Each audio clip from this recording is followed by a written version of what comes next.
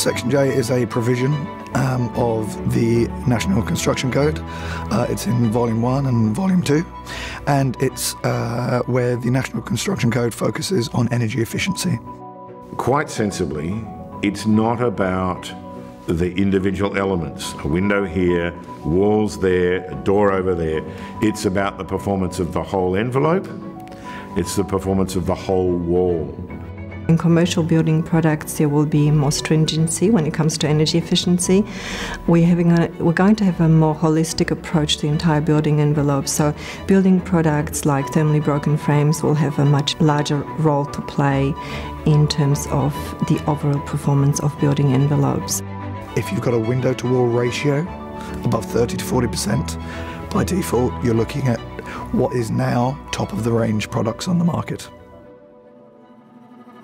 One of the major challenges moving forward is going to be the adoption of higher performance curtain walling systems. Every apartment building, every office building, every supermarket, every retail centre will have to perform a lot better. One particular element of that is the spandrel system. The spandrel system is the opaque, the wall system in the system, so vision, wall. That area there is surrounded by a frame and the energy inefficiency of that is extreme. So in National Construction Code 2019, they have set a minimum backstop for that value of that spandrel. So tomorrow's market in 2019, National Construction Code will uh, aim to provide resolutions to that. And again, the thermally broken systems are the bits that are going to allow that minimum backstop to be met. Yes, you can have lots of glazing, but you need to make sure that it's at a higher grade, a higher level, a higher resistance level, and you have to make sure that everything else that's in the wall complements it and performs really well.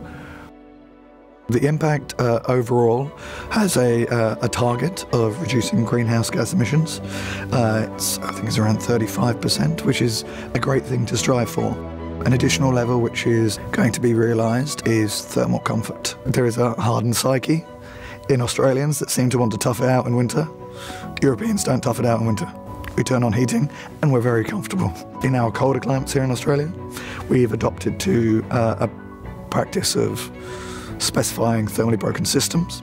In our warmer climates such as Queensland, that's going to be a growing market uh, and it's going to have to adopt to ignore the benefits of a good double glazed product and a good framing system is probably flies in the face of good sustainable design. If we project forward to five years' time, we're going to start to have a much higher quality building stock as a result of this.